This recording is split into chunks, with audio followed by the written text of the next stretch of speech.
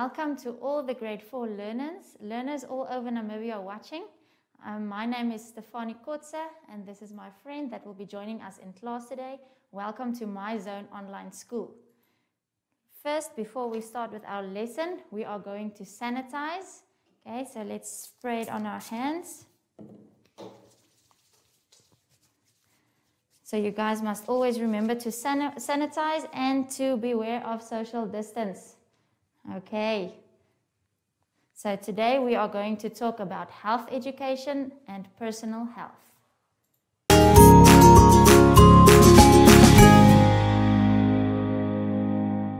Okay, grade four. So before we start talking about health education, let us open our workbooks and turn to page 12. So let's quickly look at the vocabulary words. The first word is personal. Personal means your own or private. So for example, the clothes that you are wearing today, it is your personal or your own clothes. The next word is factors. Factors means the things that causes a change or something that causes a change. And the last word is affect, can make a difference. So that is something that makes a difference to you, something that affects you. Okay, so let us start off with the relationship between healthy behavior and personal health. So the thing is, health is important to all of us. And what you guys might not understand now is that your behavior affects your health. But before we get into that, you guys need to understand germs and what germs do. So germs are tiny organisms that can make you ill. And the thing is, guys, they are so small that you cannot see them without a microscope. A microscope is a pretty cool tool that scientists use to enlarge teeny tiny things that you can see it with a human eye. Okay, and this is the problem with germs. Because we don't see them, we don't even know that they exist. So now I'm going to show you with a practical illustration how quickly germs can spread.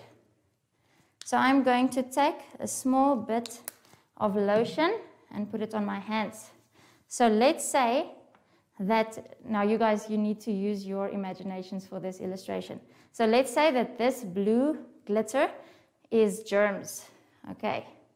So I just went to the bathroom in break time and I forgot to wash my hands. Then I get back in class and when one of my students walk in, I high five her to greet her. Okay, so let's show them our hands. So now the germs that I had on my hands spread to her as well. So can you guys see how easily germs are spread? Germs can also be spread when you wipe your runny nose with your hand or when you sneeze and you cough without holding, without coughing into your arm.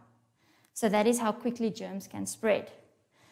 Um, there are also a lot of sources of germs. It's very important to remember the sources, the different sources of germs and where they come from. Germs come from sick people firstly.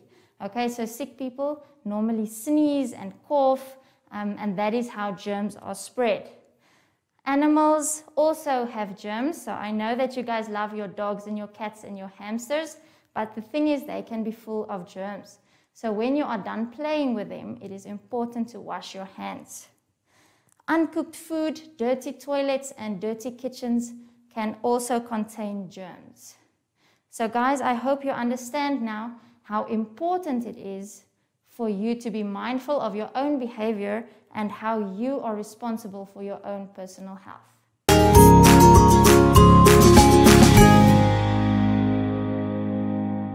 Hi, grade fours. So let's continue. I hope you guys are still with me. So now we are going to talk about personal health factors that affect you and your family. So the thing is, when someone in your family gets sick, it affects the whole family. Let's say, for example, the guardian or the parent in the home gets sick, then that will affect the children as well. So that will mean that they won't be able to go to work, they won't be able to earn money, and they won't be able to pay bills like your school fees, for example. So can you guys see that this becomes a large snowball effect that can definitely and will definitely go wrong. So let's turn to our workbooks. We are still on page 12. And let's start with the first factor, um, the smoking of cigarettes or tobacco. So the thing is that your lungs are affected when you smoke and your lungs are weakened. And that means that they can more easily be affected by germs. So in other words, you can more easily become sick. And when someone in the family smokes, the rest of the family inhales the smoke and the fumes. So that means their lungs will weaken as well, and they can be affected more easily by germs too. Smoking can also cause diseases such as lung cancer, asthma, and lung infections. And this is really serious, you guys. The second thing is drinking alcohol. So, not only can the drinking of alcohol affect your health, but also that of your family. Things like financial struggles and violence goes hand in hand with the drinking of alcohol. Too much alcohol can actually cause your brain to shrink. Can you guys believe that? It can also cause blackouts, heart damage, and damage to your liver. And while we're talking about families, when a woman is pregnant and she drinks alcohol, then that baby will be born with something that we call alcohol syndrome. Okay, so in other words, that baby will be born with brain damage and with growth problems.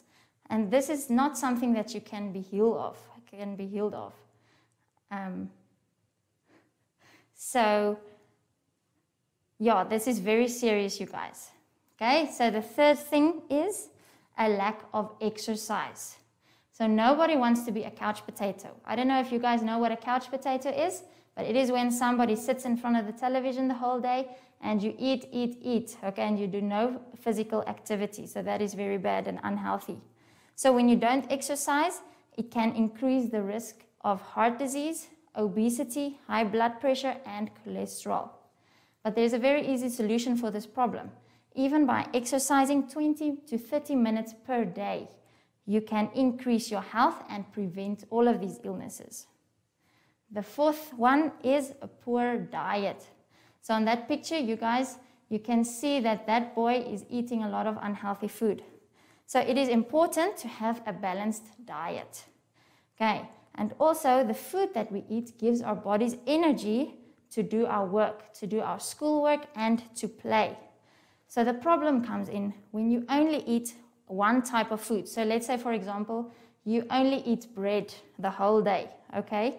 So that means your body will only receive a teeny tiny part of what it actually needs to function properly and to be healthy, okay? This will also affect your immune system and you will easily become sick. And this counts for you and for your whole family. The last one is not getting enough sleep. So the thing is that when you sleep, your body restores itself. And can you, you guys won't believe this, but you actually grow in your sleep. And after a good night, good night's rest, you wake up full of energy and excited for the new day. But when you don't get in enough sleep, then you wake up tired and irritated. And after a long time of lack of sleep, you can suffer from health issues like blood pressure and heart disease. So, this is very important, you guys. So, now we can turn to page 13 in our workbooks. So, there you will see the self assessment. We have two questions for you. The first question is Identify the relationship between healthy behavior and personal health. So, for this question, it is important to um, remind yourself of germs and what they do. Question two For each of the following sentences below, state if it is true or false. So, in the little space provided, you guys must go and write true or false depending on the sentence. Okay, but don't worry, the memorandum is also attached, but please try to do this on your own um, before you look at the memorandum. So before, before we finish today, my friend and I, we are going to sanitize again. So you can stand up, please.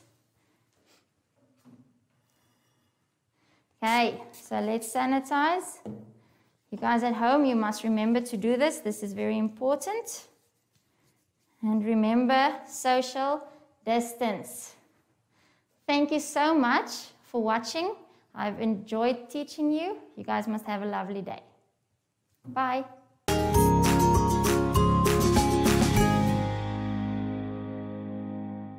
Hi everyone, I'm I'm Zoshy. And make sure to always make a helicopter circle stretching your arms out and spinning around like me. And make sure you're not touching anyone while doing this. Goodbye!